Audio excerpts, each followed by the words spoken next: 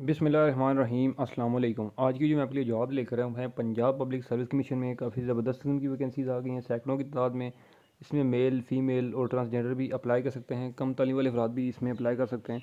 Apply की मुकम्मल तफसीत जो है मैं आपको इस वीडियो में समझाने वाला हूँ। आपने वीडियो को पूरा देखना है ताकि आपको इसमें तरीक़ाकार समझ आ जाए कि आपने इसमें अप्लाई करना कैसे है, ठीक है? तो बगैर टाइम वेस्ट की मैं आपको सबसे पहले जॉब की एडवर्टाइजमेंट की तरफ़ ले जाता हूँ, ठीक है? और उससे पहले छोटी सी रिक्वेस्ट है, जो भी फ्रेंड मेरे चैनल पर नए हैं, जिन्होंने मेरा चैनल अभी तक सब्सक्राइब नहीं किया, वो चैनल सब्सक्राइब कर दें बेल आइकन प्रेस कर दें, ताकि मेरी आने वाली जो नई जॉब की वीडियो है, उसका नोटिफिकेशन आपको आसानी से मिलता रहे। तो चलते हैं जॉब की एडवर्टाइजमेंट देख लेते हैं दैन उसके बाद इसमें अप्लाई का तरीका भी जो है, वो आपको मैं बता देता हूँ। तो जैसा कि आप देख सकते हैं कि Punjab public service commission Lahore advertisement number seven two zero two three इसमें जो है वो बेसिकली काफ़ी जो कैंडिडेट्स हैं, उनको ये कंफर्म नहीं होता कि इसमें जो है वो पंजाब पब्लिक सर्विस में कौन सी जॉब होती हैं, ये कैसे आती हैं, ठीक है? तो ये बेसिकली एक टेस्टिंग सर्विस है कंडक्ट करता है ये एक सूबे के लिहाज से, ठीक है? जिसी तरह हर सूबे का जो है वो अपना अपना सर्विस कमीशन होता है, ठीक है? तो जैसे कि ये पंजाब का है तो इसके अंडर जितने भी डिपार्टमेंट्स हैं गवर्नमेंट के, ठीक है, वो जॉब्स आती हैं। अब इसमें आपको मैं शॉर्ट शॉर्ट बता देता हूँ कि services and general administration department की वैकेंसीज़ हैं एरीगेशन डिपार्टमेंट की हैं इन्वायरमेंट प्रोटेक्शन डिपार्टमेंट की हैं, ठीक है?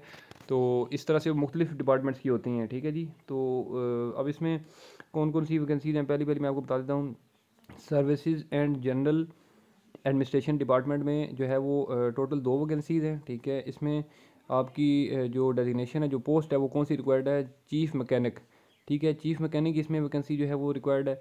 इसमें तालीम आपकी जो है वो बेशक मैट्रिक होनी चाहिए ठीक है। इसमें जो है वो कोई ज़्यादा तालीम ना हो बेशक आप, आपकी ठीक है। मैट्रिक विद साइंस आपकी तालीम होनी चाहिए ठीक है। उसके बाद आपका तकरीबन दस साल का एक्सपीरियंस होना चाहिए ठीक है जी। अगर दस साल का एक्सपीरियंस नहीं है फिर अगर आप कोई एक्स जो है वो पाकिस्तान सिविल एविएशन अथॉरिटी से जो है वो रिटायर्ड हैं या पाकिस्तान एयरफोर्स या आर्मी एविएशन या नेवल एविएशन से रिटायर्ड हैं तो भी आप इस जॉब के लिए अप्लाई कर सकते हैं, ठीक है? इसमें जो है वो आपकी एज की जो लिमिट है, वो पैंतीस साल तक है, ठीक है जी? पच्चीस से पैंतीस साल तक की जो दरमियान आपकी एज है, वो आप लोग अप्लाई इसमें कर सकते हैं। इसमें ओनली मेल्स अप्लाई कर सकते हैं, पूरे पंजाब से आप कहीं से भी, ठीक है जी? और प्लेस ऑफ़ पोस्टिंग जो है वो यहाँ पर लिखी है कि V I P flight government of the Punjab S and G A D Lahore airport old terminal ठीक है? उसके बाद बाकी सिलेबस इसमें लिखा हुआ है कि syllabus of written test will be conveyed later if needed ठीक है? उसके बाद अगला डिपार्टमेंट आता है जी, जिसमें वैकेंसीज है इरिगेशन डिपार्टमेंट ठीक है? इरिगेशन डिपार्टमेंट में जो है वो आपकी सिक्सटी टू सीट्स हैं, ठीक है? बासठ वैकेंसीज हैं टोटल पूरे पंजाब से।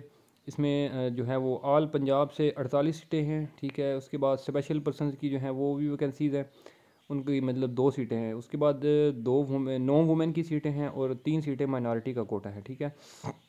इसमें कौन सी वैकेंसी है? सिस्टम नेटवर्क एडमिनिस्ट्रेटर इसमें जो है वो आपकी तालीम में जो है वो मास्टर्स की डिग्री होनी चाहिए, ठीक है?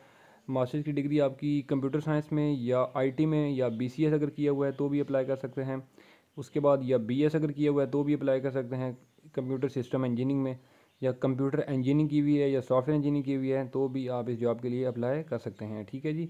उसके बाद नीचे लिखा है कि four years post qualification experience in planning designing building and implement implementing of network infrastructure solutions from public या प्राइवेट सेक्टर ऑर्गेनाइजेशन ठीक है?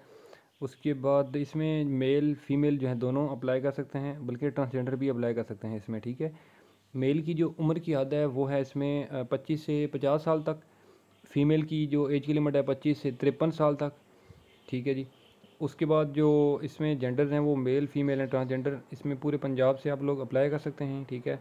इसमें जो आपका रिटर्न एग्जामिनेशन टेस्ट होगा, उसमें एम सी क्यूज़ पैटर्न होगा, सौ मार्क्स का, और आपने जो है, आपके पास नाइन्टी मिनट्स होंगे, ठीक है? इसमें क्वालिफ़िकेशन रिलेटेड क्वेश्चन होंगे आपके एटी परसेंट और बाकी बीस परसेंट जो होंगे, वो आपके जनरल एबिलिटी में including general knowledge Pakistan studies current affair geography English basic mathematics Urdu everyday science and basic computer studies ठीक है? अच्छा जी, अब नेक्स्ट डिपार्टमेंट की बात करते हैं तो इसमें वैकेंसीज़ हैं जी इन्वायरमेंट प्रोटेक्शन डिपार्टमेंट अब इसमें कौन कौन सी वैकेंसीज़ हैं?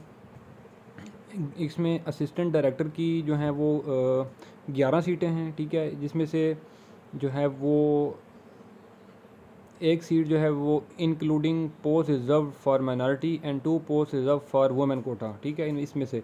उसके बाद पूरे पंजाब से आप लोग इसमें अप्लाई कर सकते हैं। इसमें तालीम आपकी लॉ ग्रेजुएट जो है वो डिग्री आपके पास होनी चाहिए, ठीक है? मेल की एज की लिमिट इसमें जो है वो 18 से तैंतीस साल तक है और फीमेल की 18 से 36 साल तक है, ठीक है जी?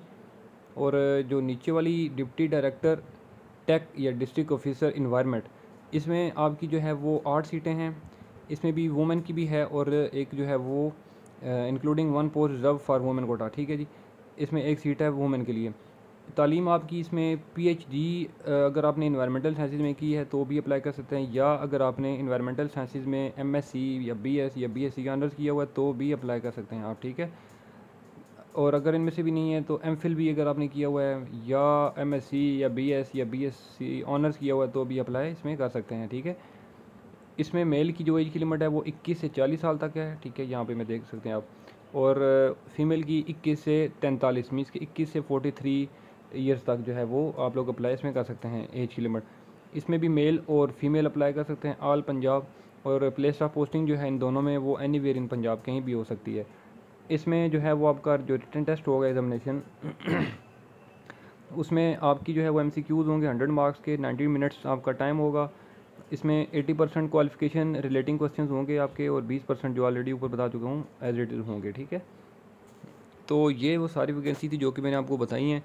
अब इसमें अप्लाई कैसे करना है? ऑनलाइन ही अप्लाई इसमें करना है पी की अभी मैं आपको लेके चलता हूँ और बताता हूँ कि आपने इसमें अप्लाई करना कैसे है, ठीक है? इसमें बाकी डिटेल्स जो हैं मैं आपको ये बता दूँ कि लास्ट डेट जो इसमें अप्लाई करने की है, वो है सत्रह जुलाई दो हज़ार तेईस। ठीक है जी, सत्रह जुलाई दो हज़ार तेईस तक जो है वो आपके पास इसमें अप्लाई करने का टाइम मौजूद है। आप इसमें अप्लाई तक तक कर सकते हैं, ठीक है? बाकी इसमें चलान फॉर्म होगा, चलान फ़ीस जो है वो आपको वो भरनी होगी, लाजमी बात है। आप चाहे वो बैंक के थ्रू करवाएँ, चाहे इजी पैसा या जैज़ क्या यू पैसा, ठीक है जी? वो आप किसी भी तरीके से करवा सकते हैं इसमें, ठीक है? वो फ़ीस कितनी है? अभी मैं ऑफिशियल वेबसाइट पर चल के आपको जो है वो बताता हूँ। तो ये जी वेबसाइट पे मैं आ चुका हूँ, ठीक है? आप देख सकते हो P P S C dot G O P P K की ऑफिशियल वेबसाइट पे जब आप आओगे, ठीक है?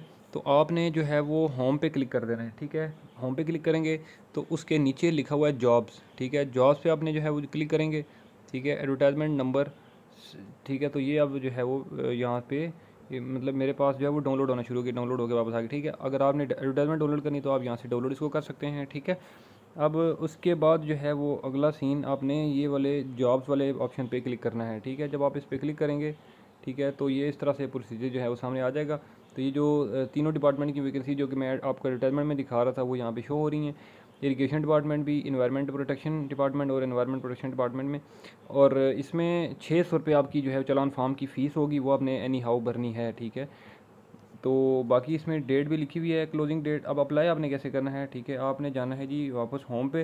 होम पे जाने के बाद राइट साइड पर ब्लैक कलर का बटन मौजूद है अप्लाई ऑनलाइन ठीक है? आपने इसके ऊपर क्लिक करना है। ठीक है जी, आप जब इसके ऊपर क्लिक करेंगे तो एक नई विंडो ओपन होगी, ठीक है? अब जैसे कि इस तरह मैं आपको बताता हूँ कि अब मैंने सेलेक्ट किया है कि जो मैं जिस भी डिपार्टमेंट में वैकेंसी जो है वो अप्लाई करना चाहता हूँ। ठीक है, एक सेकंड तो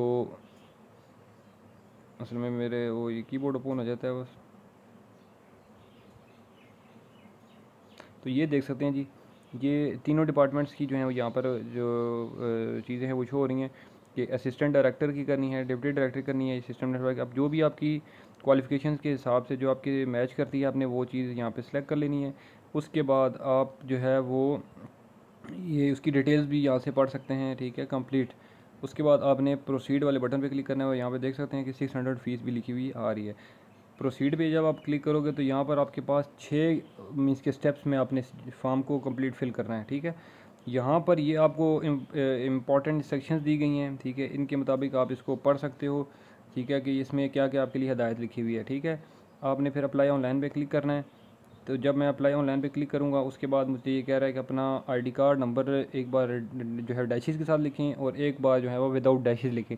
तो ये आप लिख के आगे आपने अपना जो है जॉब फॉर्म कंप्लीट करना है, ये आपकी बेसिक इन्फॉर्मेशन है। तो अब मैं यहाँ पे मज़ीद आगे जो है वो टाइम वेस्ट हो जाएगा, ठीक है?